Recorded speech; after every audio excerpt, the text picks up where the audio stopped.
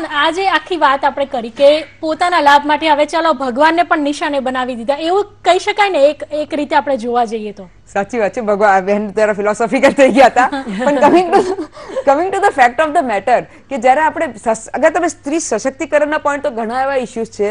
કદાચ આ બેનને કહીએ બહુ માતા બેનને કે બેન તમે જાણો ઘણા બધા ઇશ્યુઝ છે જે તમે એના પર પ્લીઝ આવો ભ્રૂણ હત્યા જેવો ઇશ્યુ છે.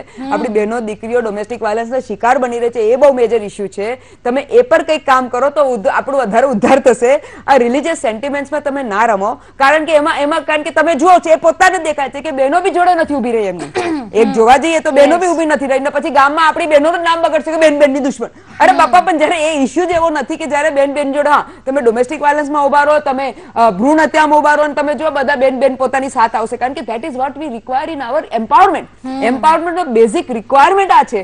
બીજી એક નાની ઇક્વેલિટી નો એક્ઝામ્પલ આપું તો એક બેન ક્યારે એમ્પાવર્ડ કહેવાય? I mean this is a very small example કે જ્યારે લેટર છે કે આપણે સવારે ઉઠીએ છીએ અંબેસા સાંભળ્યું છે કે વાઇફ ઉઠીને હસબન્ડ માટે ચા બનાવે છે.